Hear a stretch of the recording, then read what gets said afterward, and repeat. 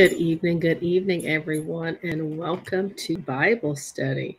I'm Pastor Tanya, and I'm excited that you are with us tonight. I'll give you all a few minutes to come on in and join us.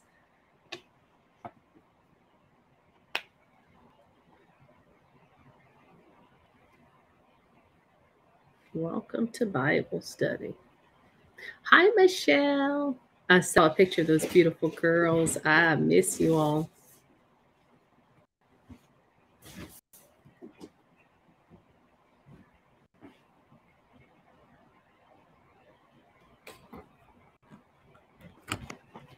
Give y'all just a second to join us.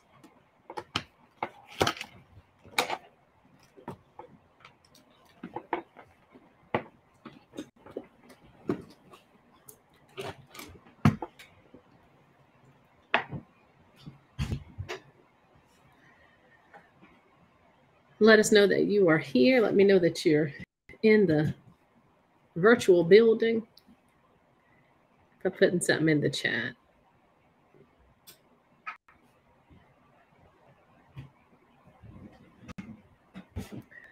All right.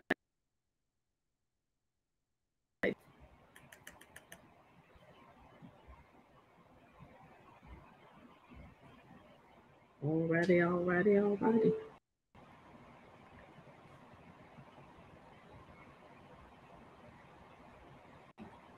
All right, we're going to continue um, in the book of Mark. Uh, we have been journeying in the book of Mark um, in, with a theme of the people responding to Jesus. And so all the conversations have been about how people interact and respond to Jesus in different situations. So uh, we have a couple more weeks in this uh, series before we move on to something else. So um, I want to invite you to join me in the book of Mark. Again, that's the book of Mark. We'll be in two different chapters. We're going to start in chapter six. Hi, Lita. Welcome, welcome, welcome. We're going to start in chapter six, but I do want to start with a word of prayer, if that's all right with you all. So let's get settled, get your Bibles, turn to Mark chapter six. We're going to take a couple of deep breaths, get started, and have a little Bible study tonight. All right. I always try to tell people before we start Bible study, and I've been doing this since I've had to be virtual, is you need to take a minute to clear your heart, clear your mind, set your space so that you are ready to receive, ready to learn, ready to um, just hear the word God with fresh ears. I know oftentimes we review scripture or hear scripture over and over, and we sometimes don't see something new in the text. But if you take the time to clear your head, clear your heart and your mind, just maybe you'll see something different or hear something different in the text for today. Hey, Miss Tamara, thank y'all for hanging out with me tonight. So let's go ahead and get started with a deep breath in through your nose. I'm gonna count to five. I breathe different because I gotta count and breathe. All right, in through your nose, count of five. One, two, three, four, five.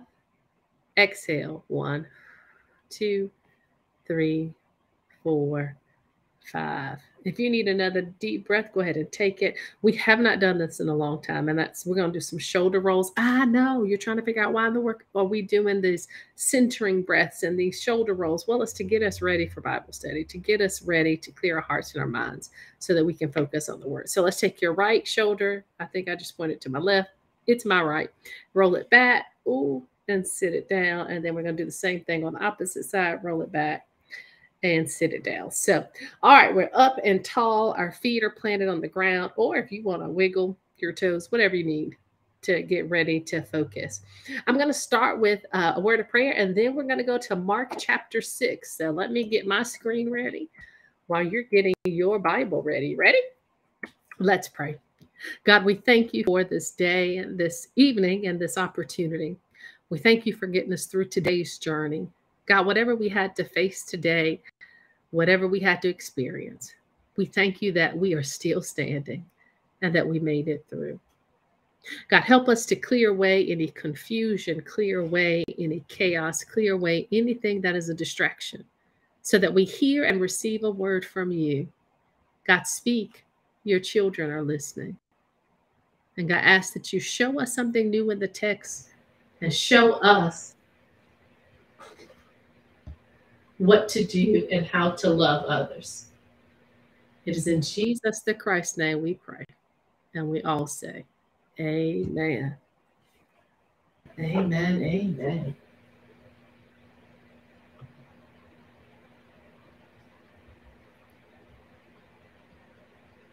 I'm going to say welcome to Pastor C.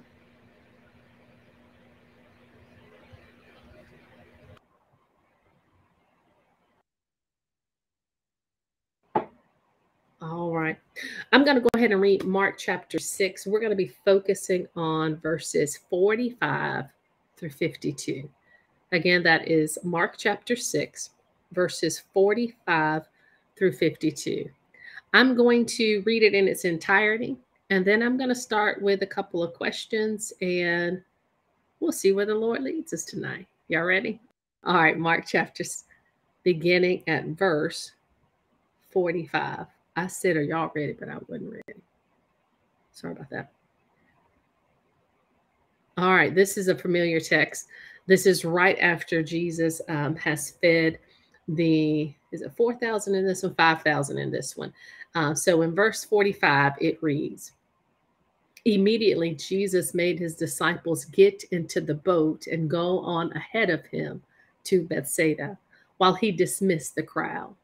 After leaving them, he went up on a mountainside to pray. Later that night, the boat was in the middle of the lake and he was alone on land. He saw the disciples straining at the oars because the wind was against them. Shortly before dawn, he went out to them, walking on the lake.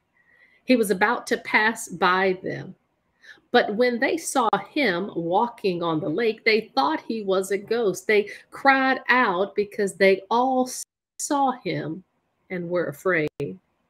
Immediately he spoke to them and said, Take courage, it is I. Don't be afraid. Then he climbed into the boat with them, and the wind died down. They were completely amazed, for they had not understood about the loaves. Their hearts were hardened. All right, so that was Mark chapter 6, 45 through 52. All right. My first question um, for tonight is What do you see, feel, or hear in the text? What pops out to you first in this particular text.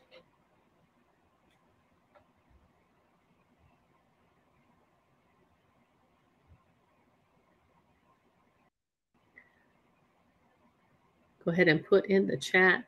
We welcome our uh, folk from YouTube as well. Uh, you'll be able to see their comments on the screen as we continue. What do you see, hear, and feel pops out for, to you in this particular text before we dive deep to the text.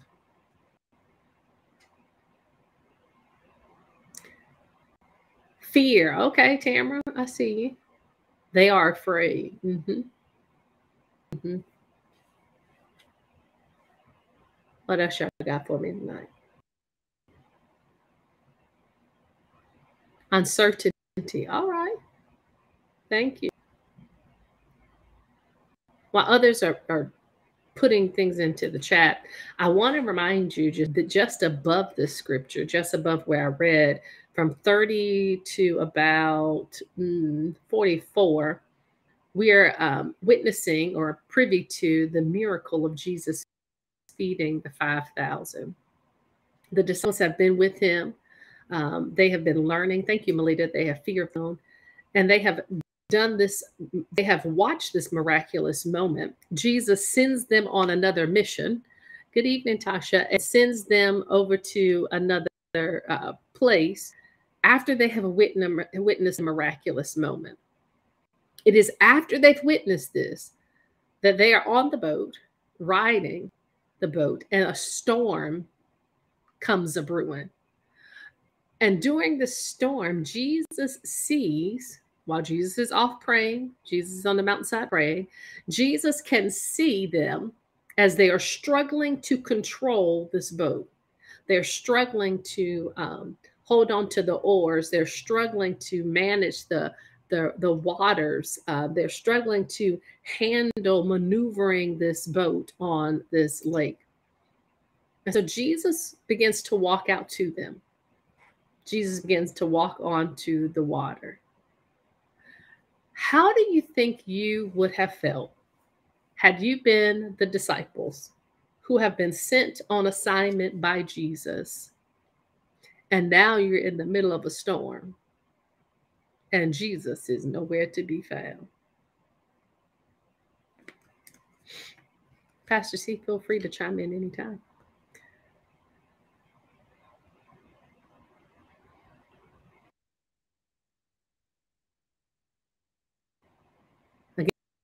And how would you feel? You have been sent on assignment and Jesus is not there. Jesus has sent you, told you to go somewhere, and the storm begins to brew. And it's a bad one. Mm-hmm. And Jesus ain't nowhere to be found.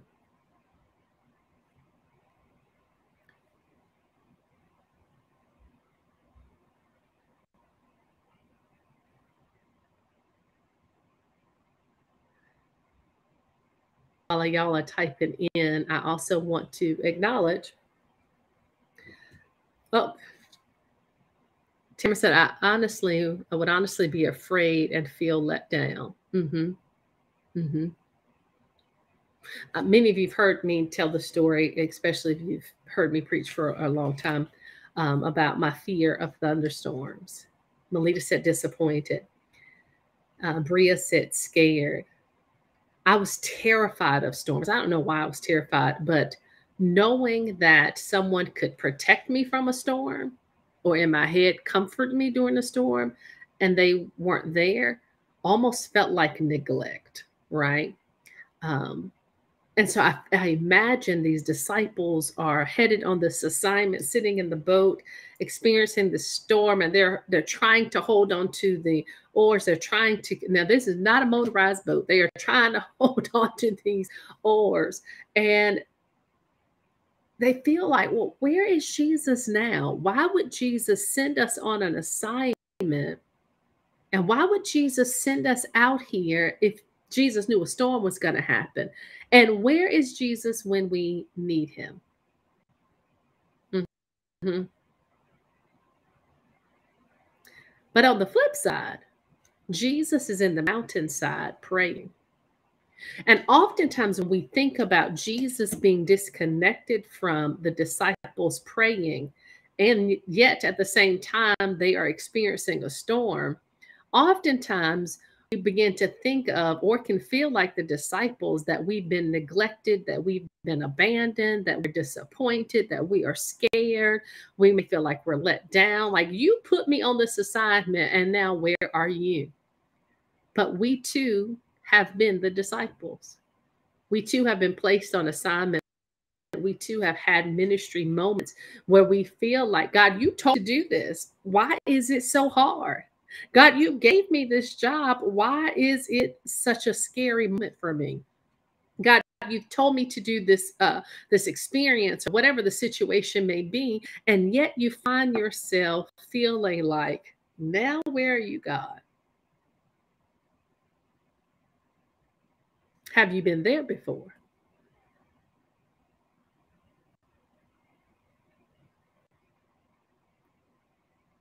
Pastor C, have you been there before?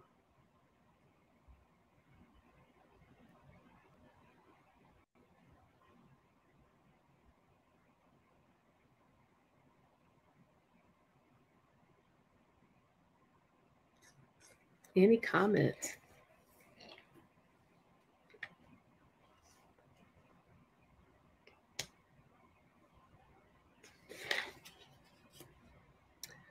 All righty.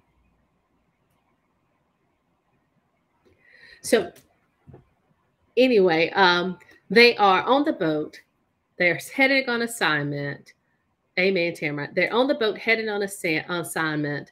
They feel like they can't hold on through this storm. They're feeling like they're abandoned and neglected. They know that Jesus has sent them on this assignment and yet they are out there all by themselves. And even though they're not alone because they have other people with them, you can be in the presence of people and still feel all by yourself.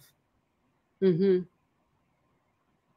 You can be in the same space with people and still feel neglected, abandoned, and all by yourself and afraid. They can't bring you comfort because they have no more power than you do.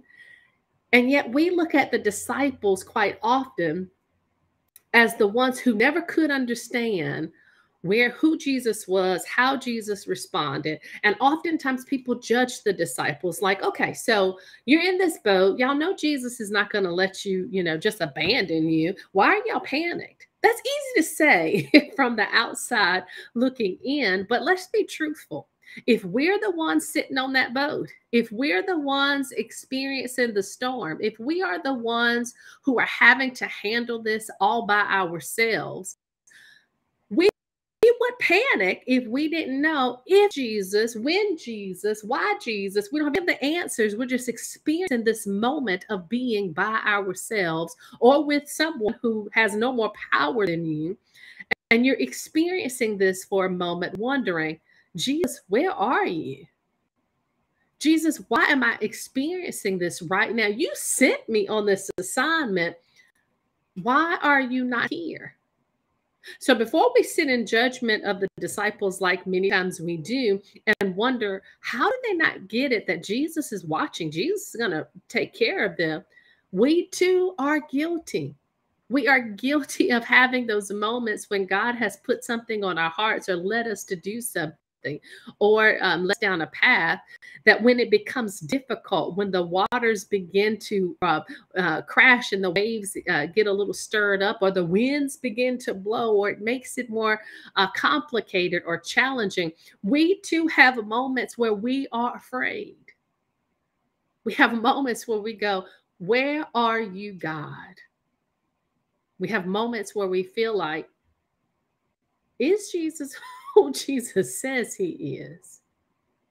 And we have a Bible to go by. They, these men had nothing but their eyewitness account of what Jesus had done and is doing.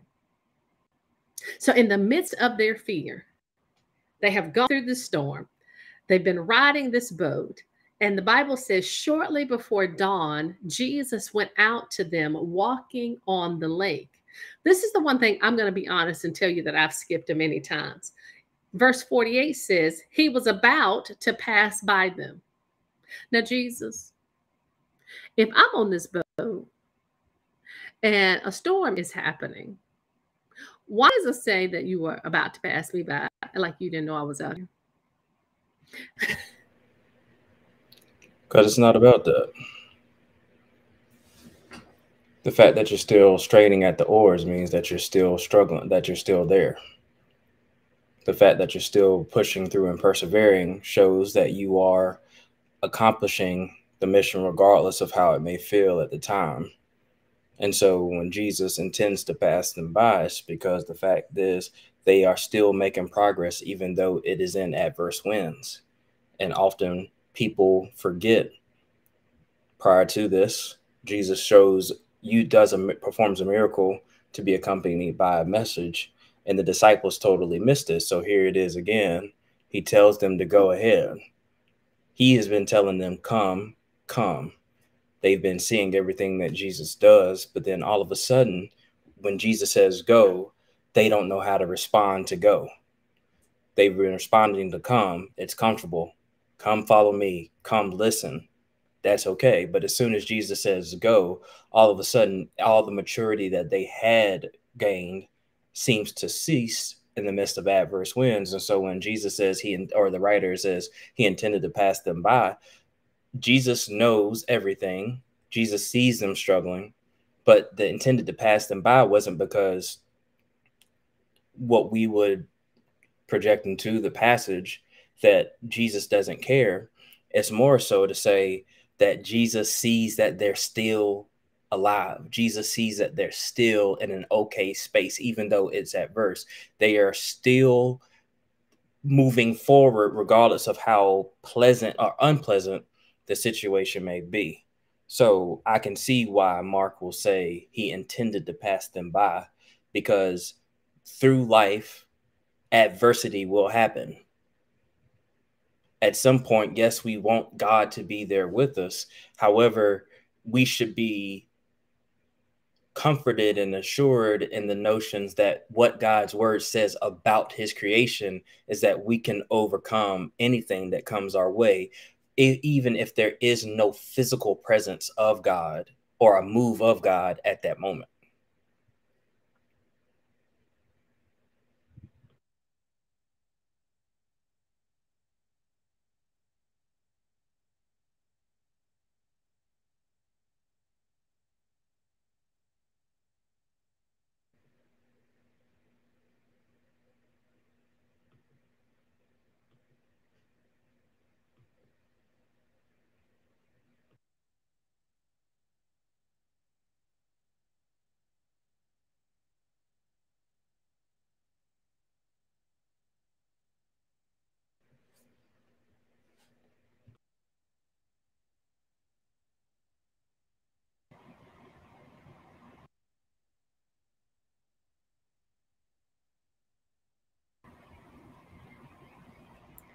All righty.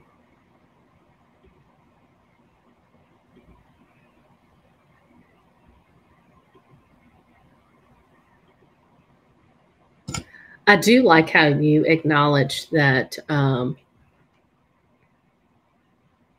Jesus knows that they're struggling, but yet Jesus sees that they are managing through this storm and how um, if we apply that to our own lives, we see that as well that Jesus sees our moments where we are struggling or our moments where we are facing adversities, yet we are able to um, still manage those moments and still be able to make it knowing that Jesus has already equipped us.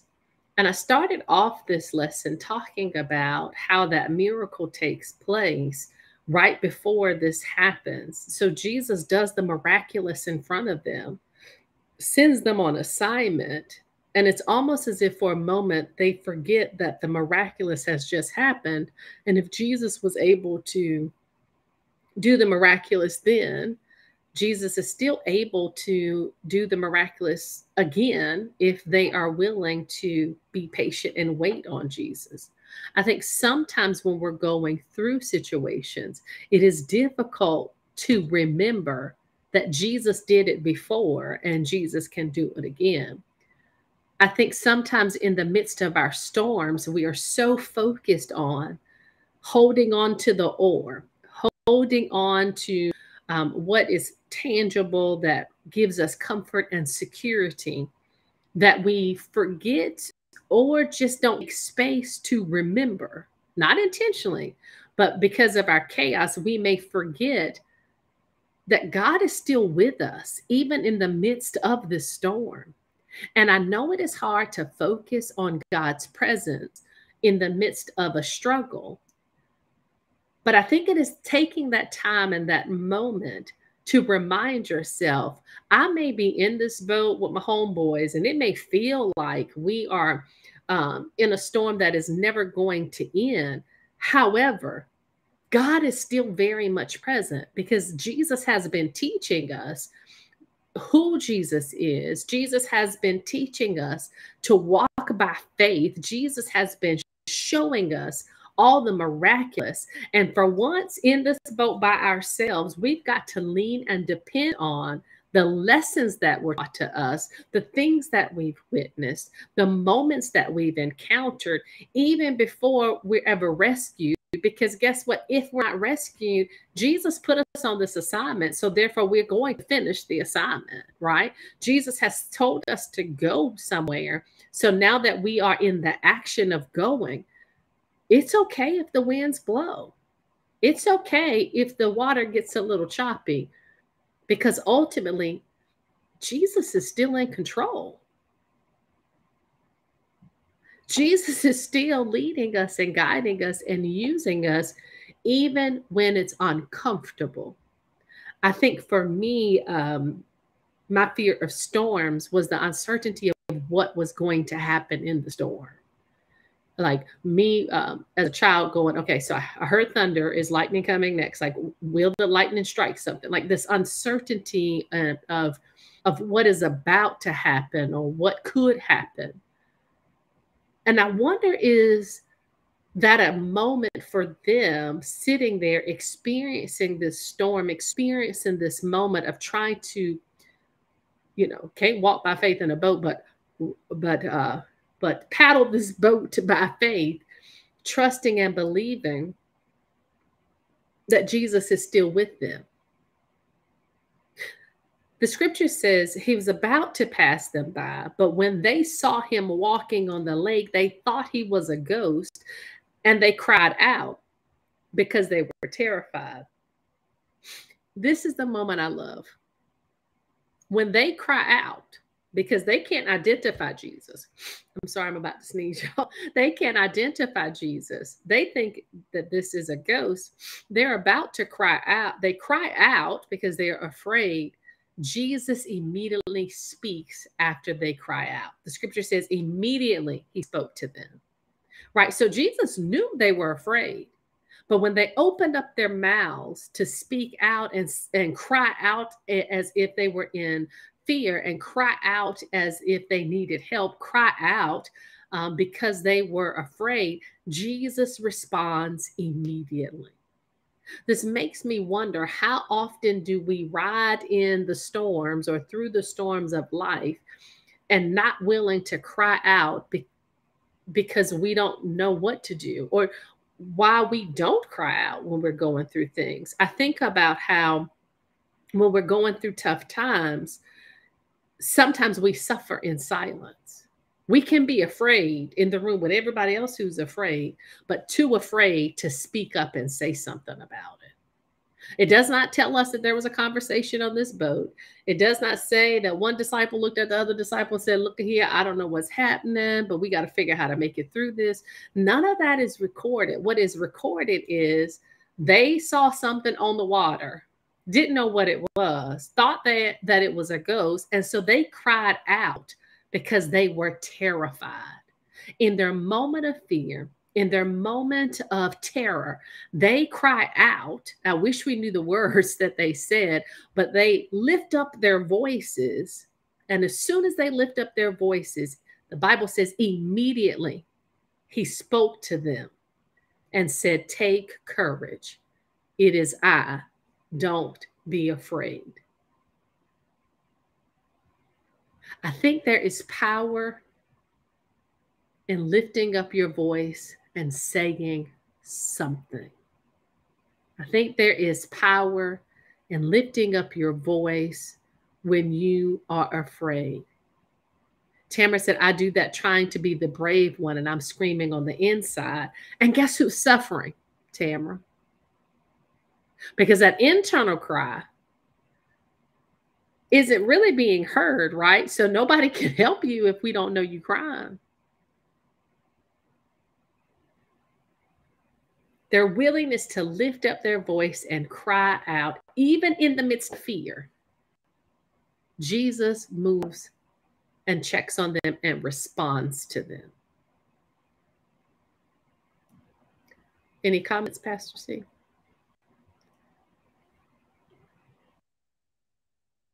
All right. All right. So it says, then he climbed into the boat with them, and the wind died down. So once Jesus gets in the boat, guess what happens? Wind stops blowing. so you're like, okay, Jesus, you could have done this 15 minutes ago. you could have just stepped on in to the boat 15 minutes ago. But anyway, as soon as it happens and they see that the wind adjusts to Jesus, because that is what's happening. As soon as he gets into the um, boat with them, the wind died down and they were completely amazed. For they had not understood about the loaves, their hearts were hardened. So that goes back to something you said earlier, Pastor C, that it wasn't about um, any of that. It was about the the miracle that happened before they got into the boat. You want to elaborate on that? Well, I mean, they feared that there wouldn't be any provisions made for the people that were hungry and they were questioning whether or not that that would be and that's that's all i was meaning by that nothing uh, deep or profound just they hadn't paid attention to their fears then were limiting the power of jesus at that moment. And so here they are again. And now that jesus isn't in the boat prior to this jesus is in the boat every time they get in the boat. The last time that they were in a boat by themselves is when they were handing uh tending to their occupations. And so now they're in this boat and with all the things that have taken place they're not they're not they're not content. They are not steadfast in the moment of until jesus gets back in the boat when i believe the fact that they they miss that Jesus told them to go and collect all they to mm, excuse me jesus tells the little boy to put the fish in his hands. They missed it where jesus provides for them. That fear of being provided for was was subdued by jesus performing the miracle.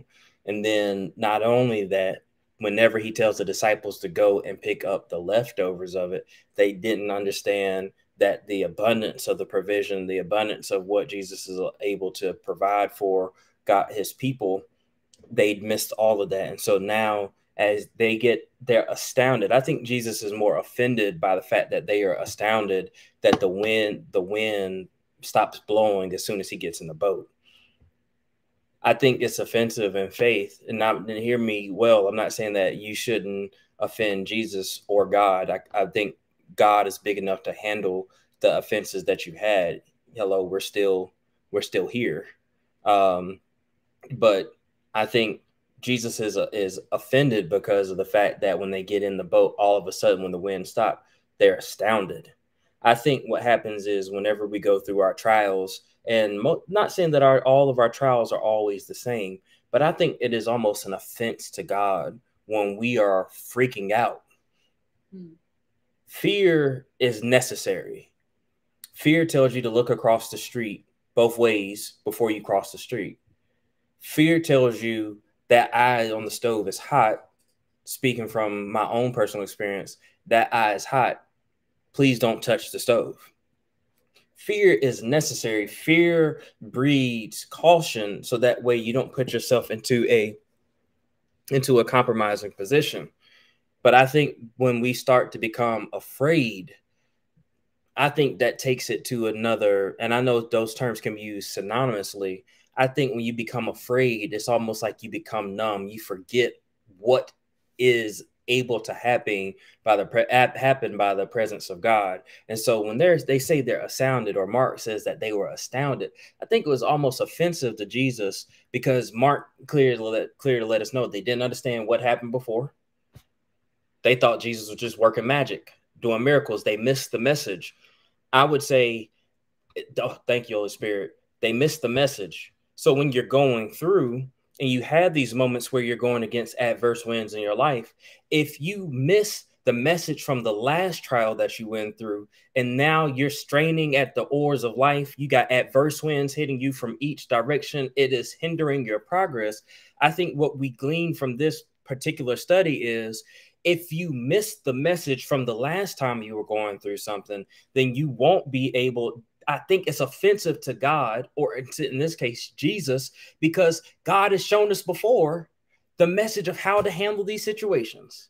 And so I feel like there is anytime we don't learn from the previous deliverance, anytime we don't um, learn from the previous redemption, anytime that we don't learn from the previous covering, the the saving grace of God or the saving mercy of God, and then all of a sudden we're astounded or in awe that God has been able to do something, I think it becomes offensive to God in the sense he can handle it, God can handle it, but I think it becomes offensive. And so when we don't understand or come to understand when we went through the last time, God provided for us the last time, and we don't take it, make note of it, catalog it, I think it's offensive after that when we get to that next trial and now we're sitting here and we've gone beyond fear. It's almost an ungodly fear. And now god has to come in and be like did you not know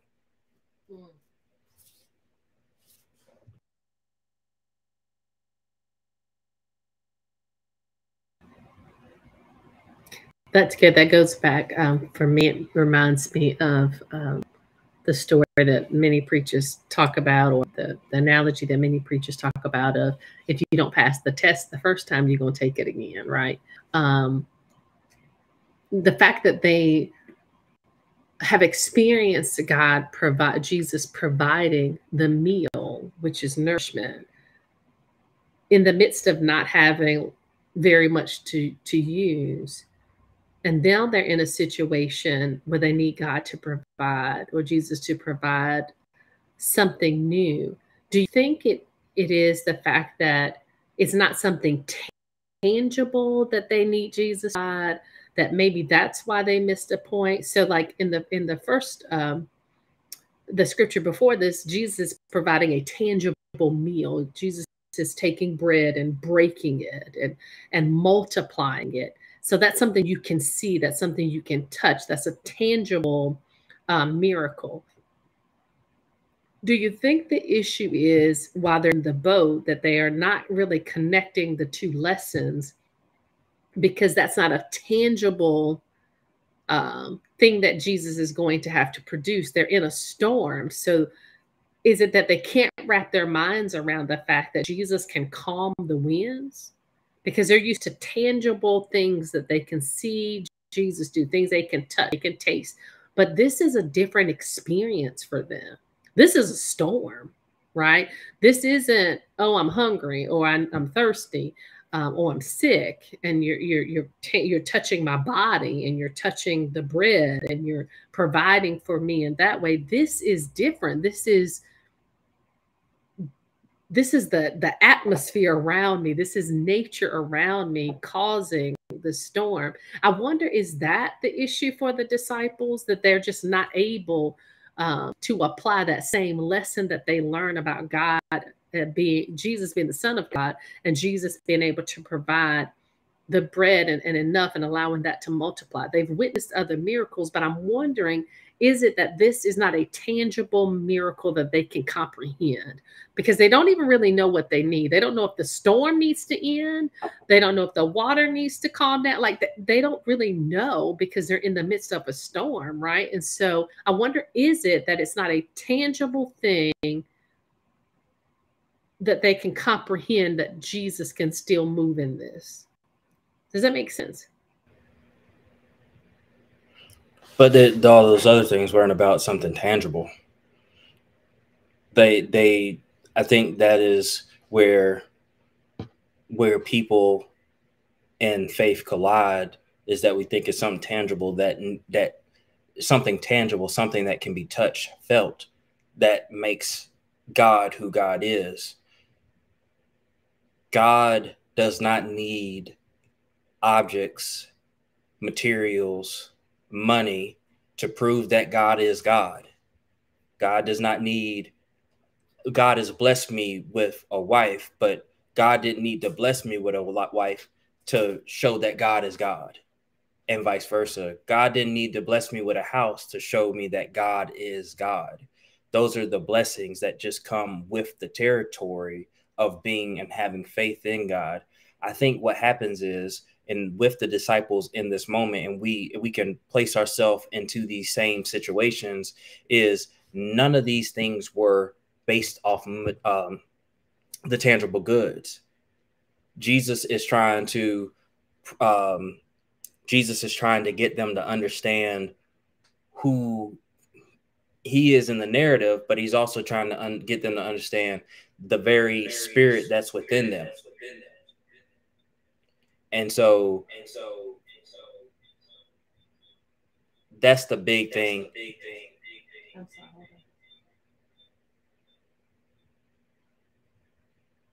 That's the big thing. That's the big thing that uh, I believe that disciples then and disciples' presence miss. We we get that monetary blessing from God, and then all of a sudden we're like, oh, God is blessing me. But the moment that that very monetary thing runs out or goes away, all of a sudden we find ourselves back in that stressful situation when our focus should not be on the thing. Yes, God fed 5,000 people, not including the women and the children, but that wasn't, God can take little and turn it into more. Same thing whenever Jesus is talking um, or he uh, does the miracle with the wine. It wasn't necessarily about Jesus going into the moment of trying to to save the party is Jesus can take something that is lifeless and give it life. Like Jesus is more so than preaching the miracles is the message is more important than the actual miracle itself. The miracle is almost just like a visual display of what he's trying to say or what he's trying the message he's trying to get across to the point. And then like for instance, like I struggle with the disciples here in this passage because you've been on a boat before. You, you you've been on a boat before. You were fishermen. Most of you were. You were fishermen. You've been on boats before. You've had to reel in heavy nets of fish and potentially even had to put the nets back in the boat because of the potential storms out on the seas. You've been here before. And so I would even say, if I'm just having a moment to be theologically imaginative right now, is you've been in these situations before. You've gone through a trial before, you've gone through tribulations before. And so I feel like that's where, when we're reading this passage, it's the offense is you've been here before, you've got, you've gone through this before, you've seen all the things that you've been able to, when you stopped fearing, I've given you an image of how you should be resting in the midst of your troubles, your trials. But the disciples had not learned from any of those messages from the miracles that Jesus had performed before. And I think that's something for us to learn or for us to, yes, for us to practice because it's not something we're going to say, oh, Pastor C, Pastor Latanya said, we got to, we've been here before, we've got to just handle it. No, I think the practice makes pro- progress is what we're looking for and the disciples missed it up until this point that we read in mark. I wasn't even thinking about the fact again i wasn't even thinking about the fact they're fishermen they've been here before they should know what a storm feels like they should know that they've made it through storms on water before. I, I my brain and many of you may be in that moment with me that I just totally forgot that they are used to being on water. And so if they're used to this, the environment, what makes this so different for them? And of course, we may not, we don't have the answers to everything, um, but I don't, I do want to push us a, a little bit um, past where we left off. Jesus says, Don't be afraid. Then he climbed into the boat with them, and the wind died down and they were completely amazed for they had not understood about the love the loaves and their hearts were hardened. Um, the text the the book that we're using takes us to mark chapter 8 where we're seeing a repeat of the miracle again right? This miracle um, and i don't know pastor you want to go ahead and jump to there you want to just stay where we are now? Uh, um, the scripture jumps to mark chapter 8 1 through 21. That's where the uh, the lesson takes us. It's the next miracle of feeding again, right? So thank you, my joy. I am I'm so happy that I'm not the only one that went, oh, I forgot. Some of them were fishermen. They they should know what to do when they're in this boat and and they're freaking out. And dude, y'all been here before. y'all had storms on water before, and, and you, you know, you made it through. Um, so anyway, the text, the textbook that we're using or the lesson book that we're using takes us to um, Mark chapter eight. If y'all want to flip there.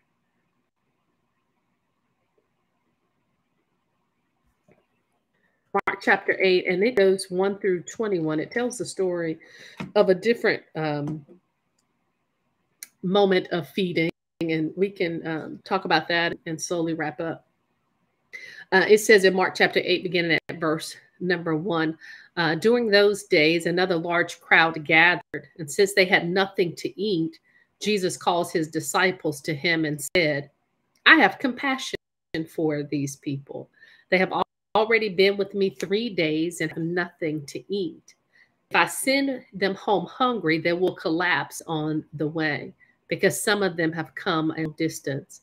His disciples answered, But where in this remote place can anyone get enough food, excuse me, enough bread to feed them?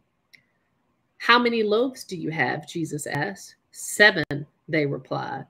He told them to sit down on the ground, and when he had taken the seven loaves of thanks, he broke them and gave them to his disciples to distribute to the people, and they did so.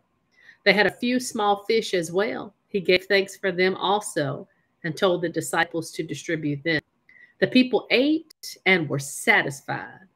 Afterward, the disciples picked up seven basketfuls of broken pieces that were left over. About 4,000 were present. After he had sent them away, he got into the boat with his disciples and went to the region of Dalmanutha. The Pharisees came and began to question Jesus to test him. They asked him for a sign from heaven. oh, my joy, there's that sign. He sighed deeply and said, Why does this generation ask for a sign? Truly, I tell you, no sign will be given to it. Then he left them, got back into the boat, and crossed to the other side. So, this is almost a replay of Mark chapter 6. Um, they are experiencing this um, same kind of moment, um, basic moment of people have, people have followed Jesus. The people have been there so long they get hungry. The disciples complain about either the cost of feeding them or they don't have enough to feed them. They don't try to come up with a solution, but they have plenty to complain about. Haha, sounds like folk we know. And Jesus has compassion. And then Jesus asks for the disciples almost participation in each one of these because he asks in both situations, How much do you have? Once Jesus is presented with what is present, what they have, Jesus gives thanks, he breaks the bread and feeds everyone. Why is it necessary for this story to be repeated again? Pastor C, why is it necessary? From Mark 6 to Mark 8, it is almost an identical story. Different regions, different, different you know, neighborhoods, same kind of miracle.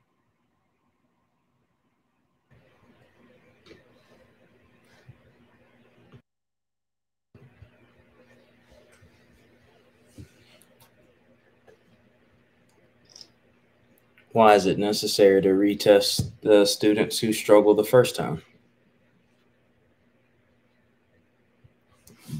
The big piece of faith is honestly, and not to make light of any situations, trials may differ, tribulations may differ, but our response to the trials and tribulations should never change.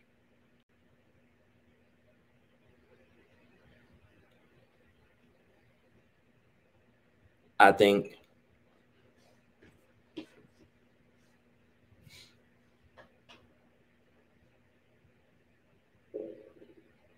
I think if we truly embraced, and once again, this is easier said than done.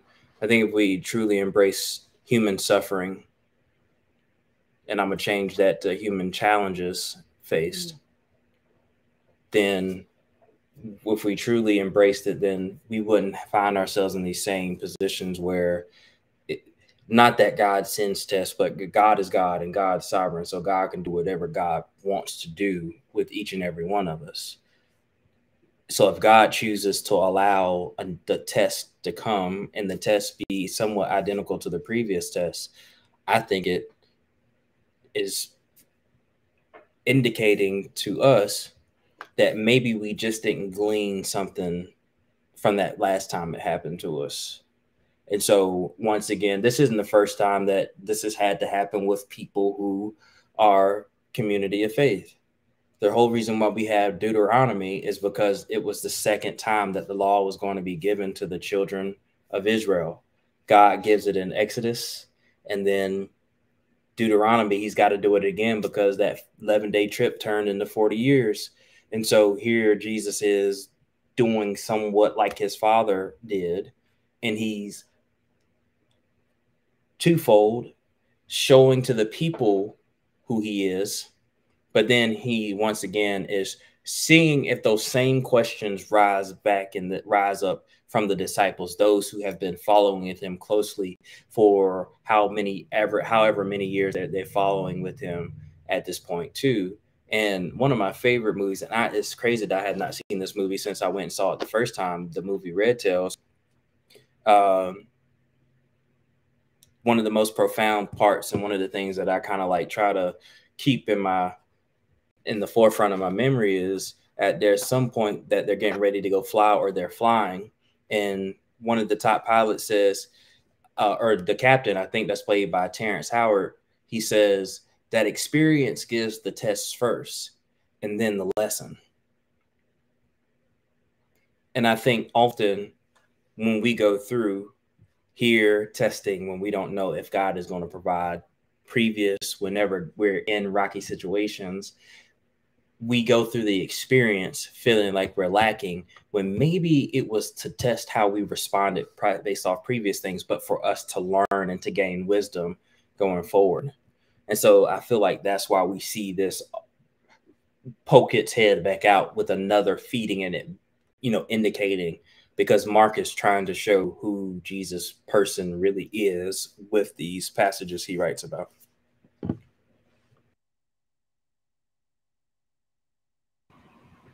I totally agree with that. Um, this uh, the feeding narratives that we've taken a look at, both of them. You know, although the disciples may have missed the lesson or it didn't pass the test, right?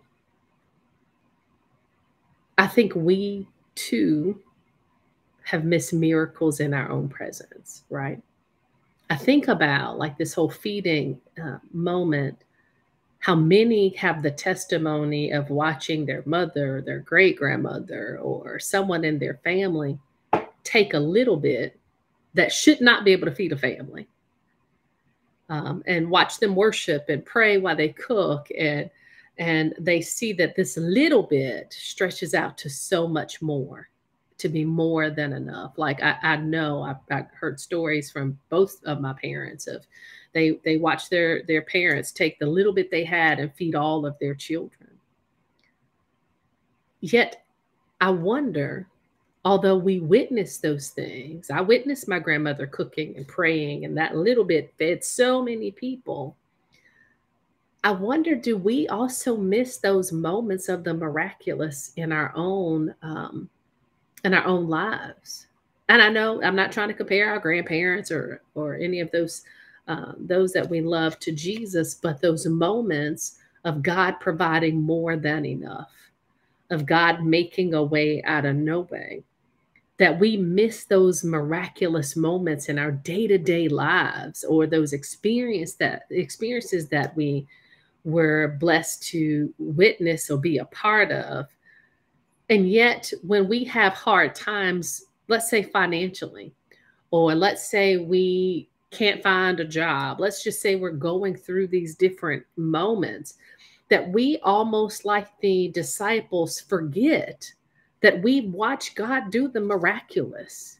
We watch God make a way out of no way.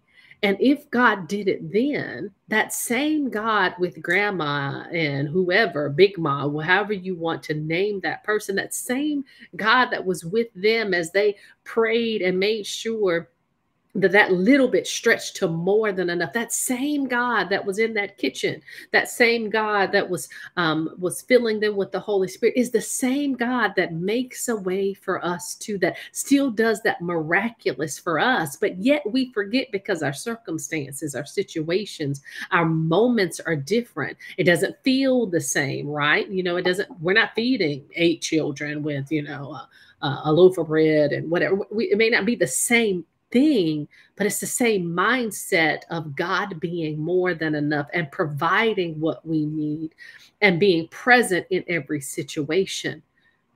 So we too miss the mark of watching um, the miraculous and still not being confident in our weaknesses or in our moments of challenge that that same God can make a way for us too.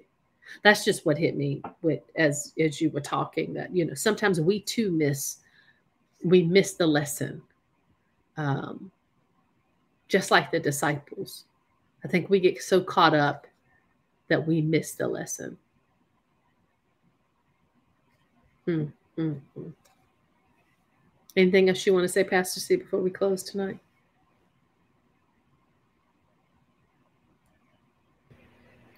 No, ma'am. All right. I want to encourage each one of us, not just you, but each one of us to take the time to appreciate the miraculous that happens in front of us daily and to reflect on our moments of watching God manifest and move in our lives. That even when we're in the midst of our own struggles, when we're in the midst of our own moments where we feel like the waves are crashing and we feel like the wind is blowing and we feel like we're all by ourselves, even when we feel like that there may not be a way out or we feel like we have been abandoned forgotten and that jesus is not present with us to hold on and take a moment to take a deep breath reflect on those things that you've seen god do before reflect on those miraculous moments that god made a way before that same god that made a way then is the same God who's still present with you right now. So you may be experiencing a storm in your life. And maybe you've been experiencing several storms. We want to encourage you. And God is still present. And maybe you just didn't see the miraculous clearly. Maybe you're not acknowledging the lesson that you should have learned. But God is still present and God is still moving. Thank you for hanging out with us tonight. If no one has told you today, let us be the first to say, We love you, and so does the Lord. God bless you, and we'll see you Sunday morning.